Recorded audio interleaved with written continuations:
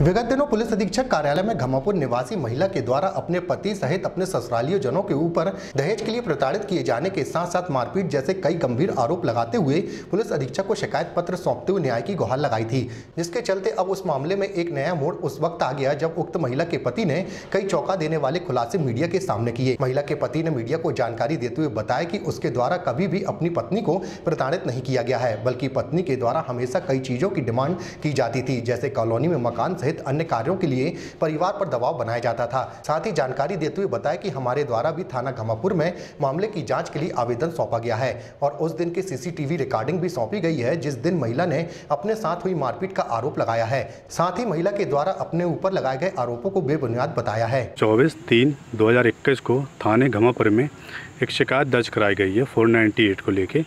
कि मेरे द्वारा और मेरे घर के लोगों के द्वारा उसको मारपीट करके घर से भगा दिया गया है, जबकि ये टोटल बेबुनियाद है। मेरे घर पे सीसीटीवी कैमरे लगे हुए हैं, जिस समय की घटना बताई गई है, उस समय ये घटना के सी फुटेज निकाल लिए गए हैं और हमने उसको निकाल के सीएसपी साहब को भी दिए हैं। उसकी जाँच भी चल रही है, ऐसी कोई घटना घटित हुई नहीं। जो वो रात में 11 बजे रूम के अंदर हुई थी, उसके बाद डायरेक्ट वो सवेरे सात बज के संतावन मिनट में रूम से बाहर आई है। और जो उसमें बताया गया कि रात में बारह बजे जबकि ऐसी कोई घटना घटित हुई नहीं। और हमने आज तक कभी भी उससे दान दहेज को लेकर कभी कोई किसी प्रकार की बात विवाद की स्थिति बनी ही नहीं है। उसकी मेरे पास लिस्ट है जो उनके द्वारा सामान दहेज दिया गया था, जबकि उसमें एफआईआर जो उन्होंने दर्ज करवाई है, जो कि बिना विवेचना के दर्ज कराई गई है, उसमें मेरे बयान भी नहीं लगे, ना मेरे परिवार के बयान लिए गए। और उनमें लिखा गया है कि दो लाख रुपये हमने कैश दिए और ये उनके द्वारा जो उन्होंने जो उन्होंने हम लोग को दहेज के बोल के दिया रहा, ये सामान की लिस्ट है, उसमें दिया है नगद इक्यावन सौ रुपये। और जबकि उनके द्वारा जो एफआईआर दर्ज कराई गई, उसमें यह दिया गया कि हमको दो लाख रुपये नकद दिए। तो ये यही समझ में आता है कि फॉल्स, अपने साथ फॉल्स किया गया। तो अपन तो पीड़ित थे, अपन तो थाने पहुँचे कि भाई हमारी पत्नी घर में दिन में जिस समय से गई है, डेढ़ से दो बजे के बीच में तो इनने कैमरे बंद कर दिए और इनके घर वाले सभी लोग आए घर और घर से पूरा सामान, सोना, चांदी, जेवर, कपड़े, लत्ते, सभी चीज़ ने निकाली। अपने घर के लोगों को बुलाया। इनके घर के लोग अंदर गए हैं।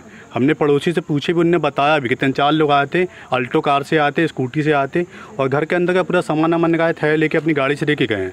हमने जब आके देखा तो हमने ये सूचना देने के थाने पहुँचे कि भाई हमारे घर में चोरी हो गई, हमारी पत्नी घर से गायब है, कहाँ गई कहाँ नहीं हमने अपनी सास को फ़ोन ला के पूछा तो उनके बयान को जाते हमें कुछ नहीं मालूम। तुम अपने स्तर में पता करो। जब थाने जाके देखे सूचना देने के लिए तो वो थाने बैठ के मामला दर्ज करवा दी।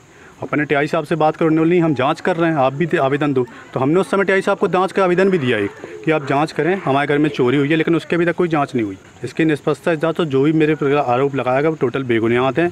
अपने पास सी कैमरे घर में लगे हुए हैं। उसकी एक पेन ड्राइव भी कॉपी हमने एसपी साहब को भी दी है। उसमें भी जाँच चल रही है। हाँ क्या है, कई बार ऐसी घटना घटित हुई इसके एक समझौता सामाजिक लोगों ने बैठ के करवाया था। उसमें समझौते में भी क्लियर हुआ था। कि ये शादी में किसी प्रकार का क्या हम लोग की समाज में शादी हो दान दहेज कोई ज़िक्र नहीं होता कभी। पर उसके बाद भी उनने ये आरोप लगाए गए हैं, टोटल बेबुनियाद हैं, जबकि नेहा डोंगरे, उनकी मम्मी सीमा डोंगरे, उनके पिताजी अनिल डोंगरे। इनके द्वारा एक षड्यंत्र के तहत मामला दर्ज किया गया जब हम लोगों ने सामाजिक लोगों से बात करके मैसेज पहुँचाया कि, भैया, ये ऐसा क्यों किया आप लोगों ने? जब उन लोग पूछने के लिए गए तो उनसे कहा गया कि हमारी लड़की उनके साथ नहीं रहना चाहती, वो गरीब हैं, झोपड़ी में रहते हैं, कॉलोनी में हमको रहना है, यदि वो कॉलोनी में तो रहेंगे, और हमको उनके साथ नहीं रहना, बारह लाख रुपये की मांग की गई।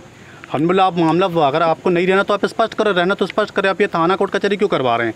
बोलते हैं, हमको बारह लाख रुपए दो। साफ़ स्पष्ट गया, पुरुषोत्तम पचेल जी श्यामनारायण बिरहा जी, इन लोग घर गए थे, उनसे बात करने तो उन्होंने बोला, हमको बारह लाख रुपए दो और हमने जो सामान दिया, हमको पूरा सामान वापस कर दो, हम मामला अब भी ख़त्म करवा देंगे।